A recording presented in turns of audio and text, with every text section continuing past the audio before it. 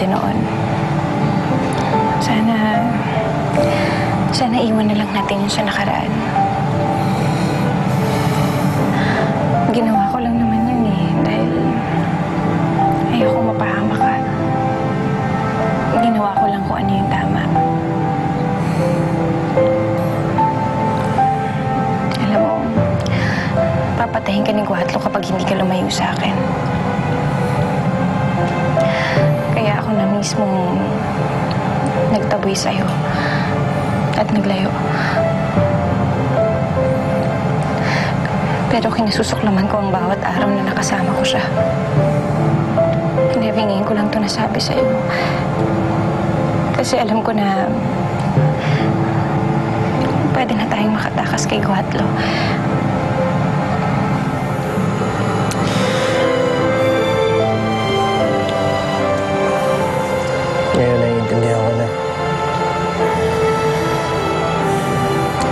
Mo kita, pasensya ka na sa akin. Hindi ko naman sinasadya yan eh. Levi, kahit ano pang pinagdaanan natin. Ikaw pa rin ang mahal ko.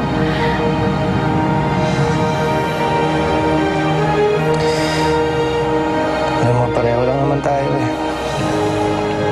Kahit kailan hindi ka nawala sa isip ko.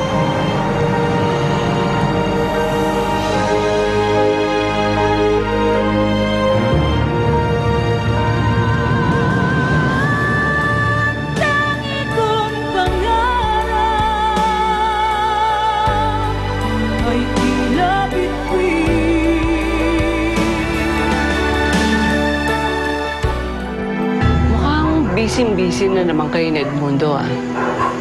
Nainutos lang si Mayor. Lagi mainit ang ulo ngayon ng asawa ko. Alam mo, iniisip ko, ano na naman ang pwedeng bagay na ikainit ang ulo niya? May kinalaman na naman ba to kay Rachel?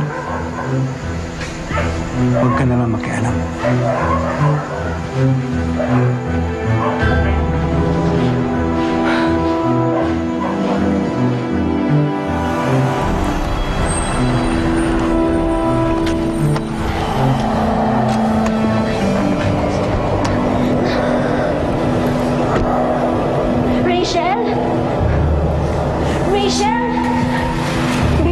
Rachel, my friend. Beauty.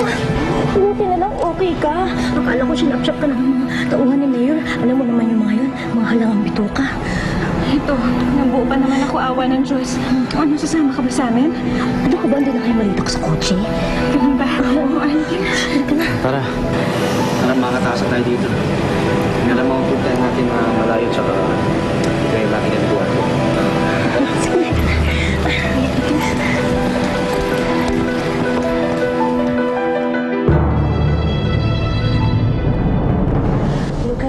Rowena. You're so beautiful.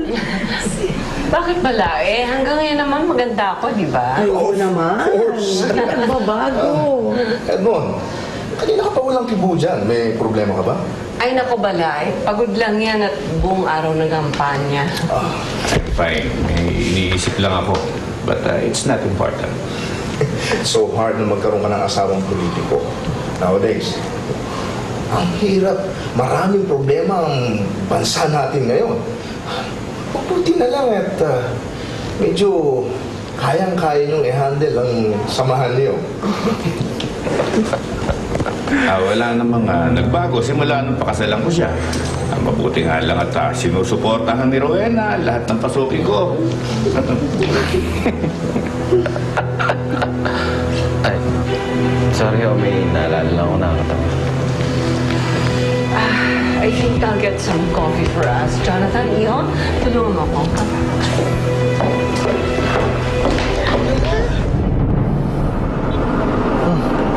Tulog ka muna.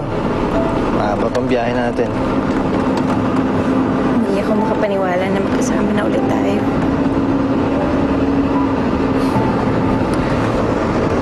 Hindi hindi na tayo iiwan. Lalong-lalo na na tayo.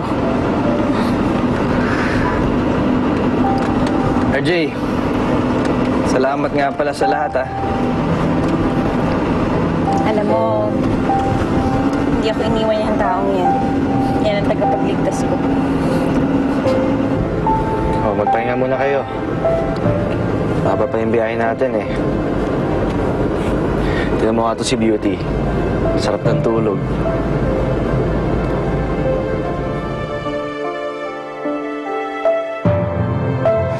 Excuse me ha, sandali. May, may, phone, may phone ko lang.